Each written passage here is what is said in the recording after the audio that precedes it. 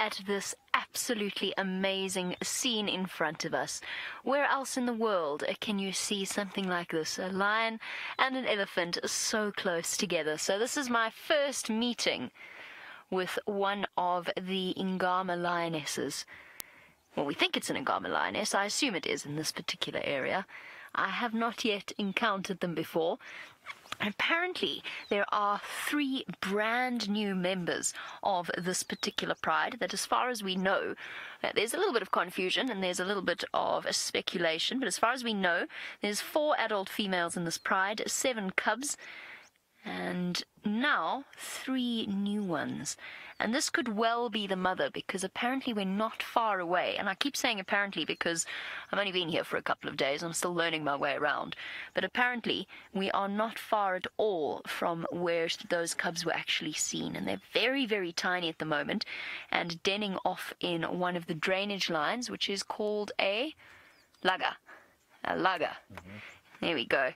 I'm getting there.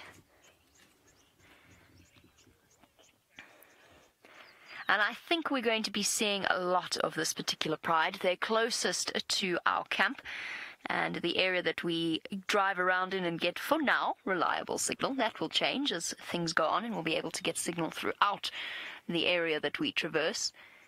But I think we're going to be spending a lot of time with the Ngama ladies. Hey, gorgeous.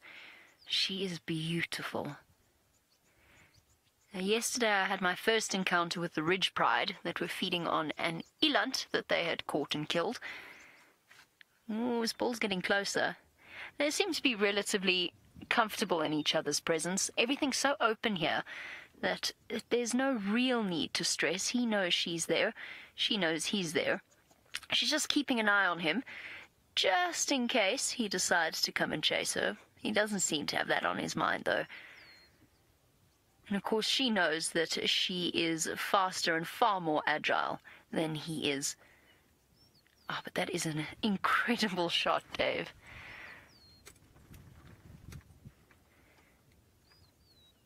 Two iconic animals right up next to each other. Now she's looking at him. Hey, big boy. Oh, Getting closer. He's probably eh, it's a little bit deceptive because of the way that she's sitting on a, on a sort of a, a ridge or a small termite mound. In that, I think that they're probably about at least 30 meters apart. So they're further apart than they look. It looks at the moment like he's actually towering over her when I look at what you're seeing. But she's probably a little bit further away than she appears to be.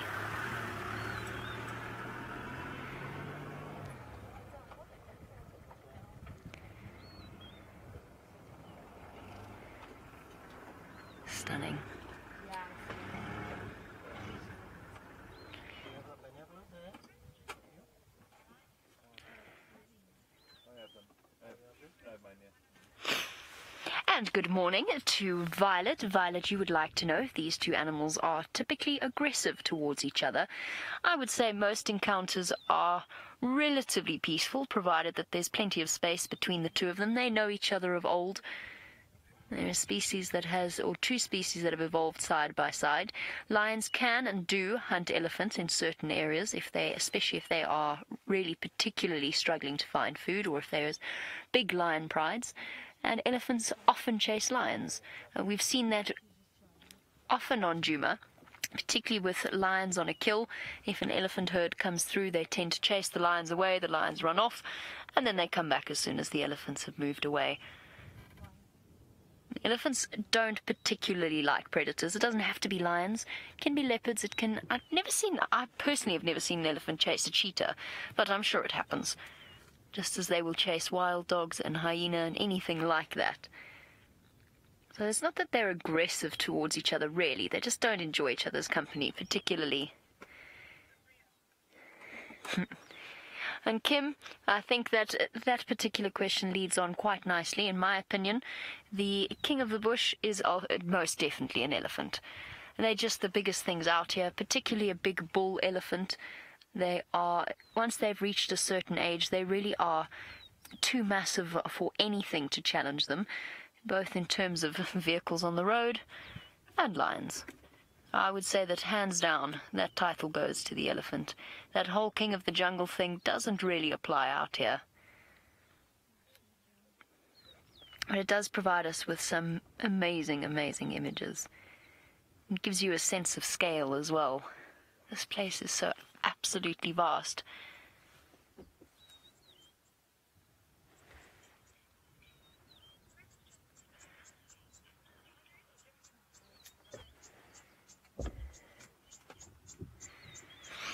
Uh, Anthony, you want to know if there's any differences between the lions of South Africa and the lions of Kenya.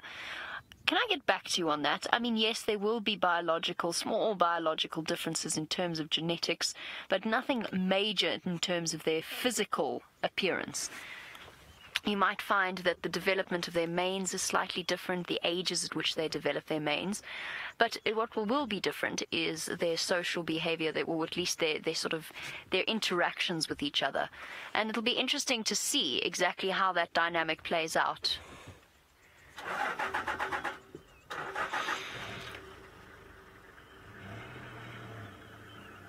Uh, there are all kinds of differences. Oh, sorry, Dave. I was about to go back to talking about the lioness and the differences. Sorry.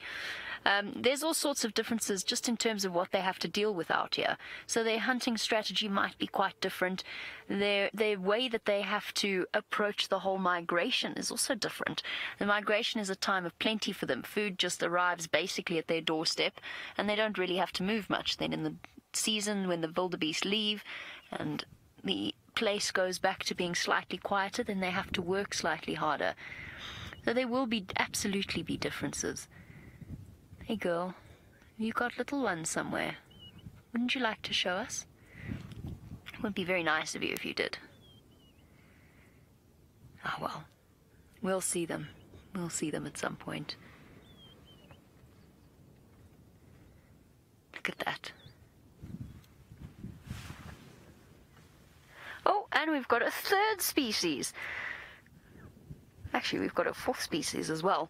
Dave, if we have a look over there, we've got two approaching buffalo bulls and one warthog.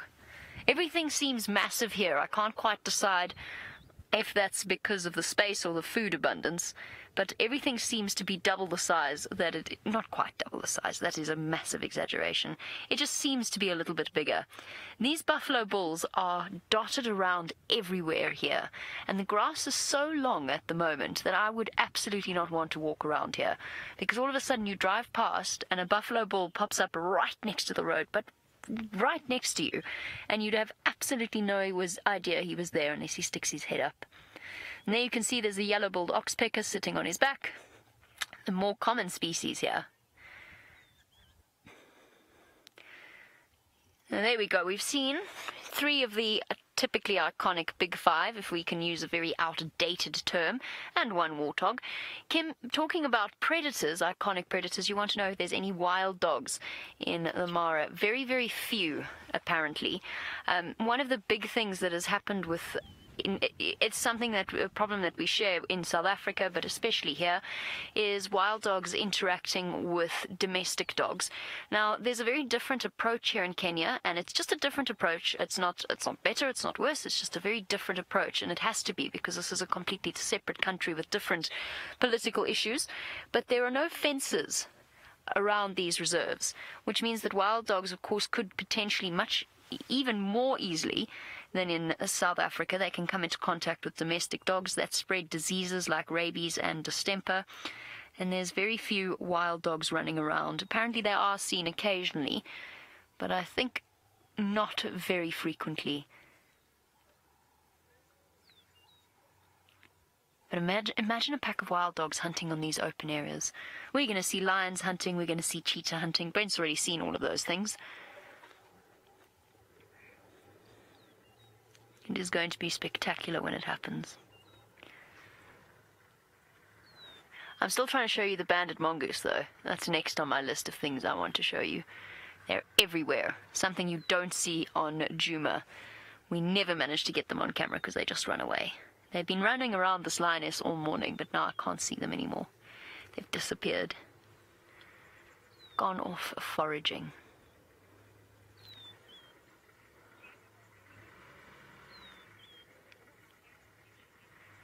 Right. Oh, the lioness is up. Where are you going, girl? Hold on a minute. I wonder if she's not going to take us round.